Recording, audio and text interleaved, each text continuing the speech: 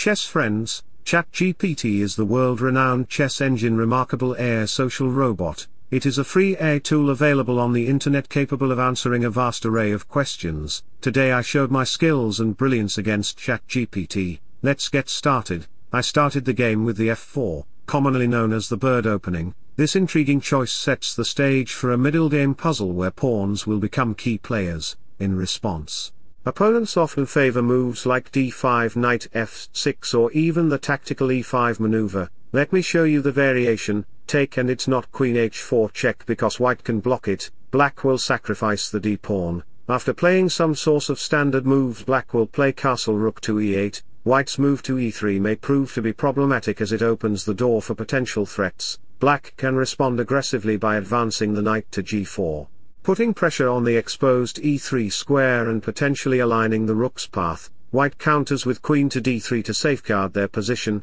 in a surprising twist, black opts for the unorthodox knight to c6, with intentions of unleashing the knight to b4, targeting both the queen and the vulnerable c2 pawn, if white's queen retreats to d1, black can seize the opportunity to sacrifice the rook by capturing the c2 pawn, this intricate sequence promises a complex and engaging battle on the board so a3 to protect it, but there is daring move bishop takes pawn, sacrificing the bishop, in this comical chess dance, black plays a sneaky queen move to h4, putting the white king in a real pickle, that king can't scoot to d1 because of a knight waiting to high 5 it on f2 and going to d2 would be a rookie mistake as the rook on e8, has grand plans for capturing on e3, threatening an instant checkmate, so white reluctantly moves to e2, but wait there's more.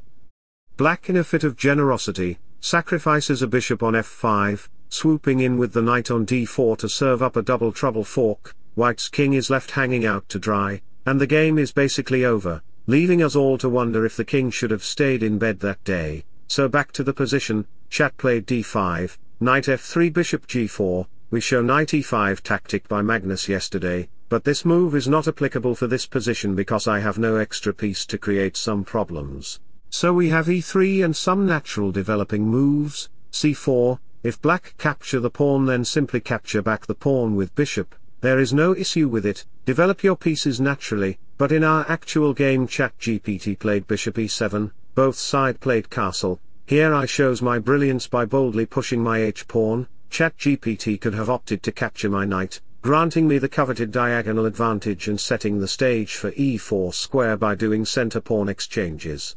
ChatGPT made a strategic move by placing their bishop on f5, this opened the door for me to play g4, forming a solid pawn structure and setting the stage for knight to e5, rook file utilization. And a fierce kingside pawn storm, with this setup I could potentially involve my queen on the kingside to mount a powerful attack against ChatGPT's position, so after bishop g6 center pawn exchanges we have knight c3. In a twist of events, ChatGPT decided to dodge the peaceful knight exchange and opted for knight to c6. With a flourish I advanced my queenside, dropping my rook on c1 like a boss to claim the open file. But instead of going for the top engine moves like capturing my knight or playing f6, he declared a full-blown pawn war with the audacious h4 move, if you capture the pawn then after takes, your g file will open, black will capture the pawn, pawn takes knight bishop takes knight, takes then black will capture the pawn with a check and will target to the bishop two two pieces,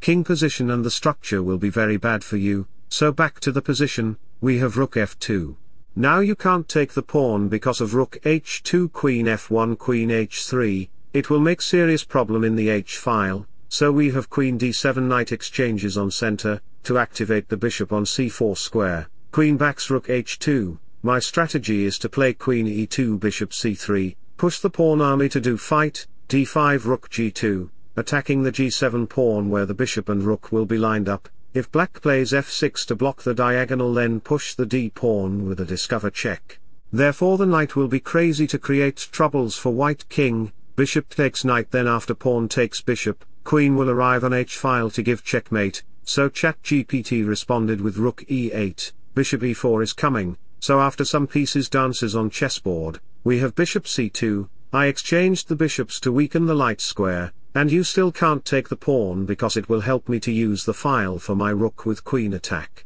Therefore you may play g6 but we will push the g-pawn with a threat, bishop e7 then we will push the d-pawn, to checkmate ChatGPT in h8 square where the rook and bishop are lined up, for that reason we have queen d5, e4 queen d7 e5, he played queen d5 again, so after few moves later, I opened up the file with g takes pawn, if you play an ordinary move for example rook c8, then we will push the h-pawn, g6 then we will sacrifice the rook on g6, take take and it will be a simple checkmate on g7. So back to the position, we have king h8, I want to slide my king to double up my rooks, potato chat played f5, this f5 move created a weakness on g6, bishop backs queen f2, I want to play queen g3, h6, takes then rook g8 check queen g6 mate, so knight e7 but I didn't care for it, I sacrificed the rook, if you dare to capture the rook, let me show you the variation, h takes g6 and the queen want to come on h4,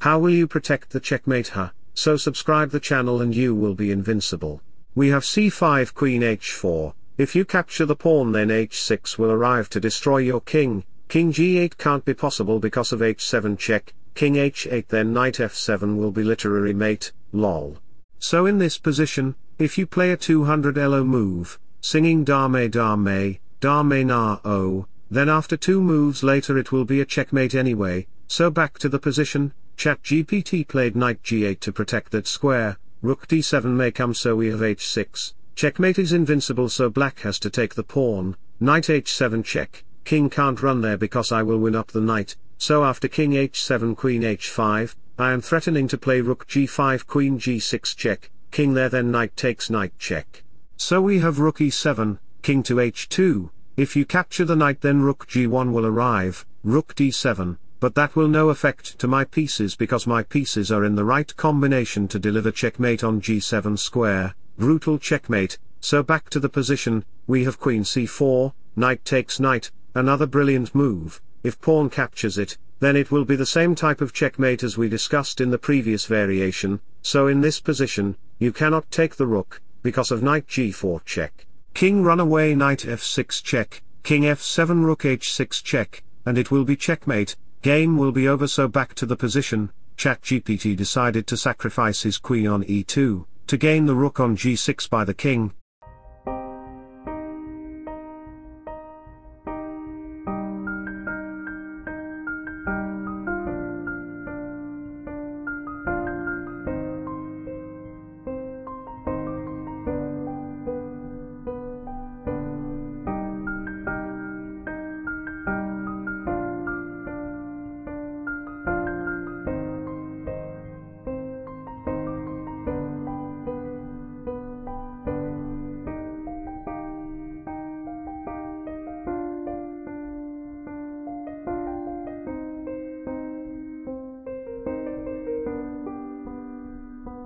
So wish you all the best. Thanks for watching. Subscribe for more. Bye bye. Take care. See you soon.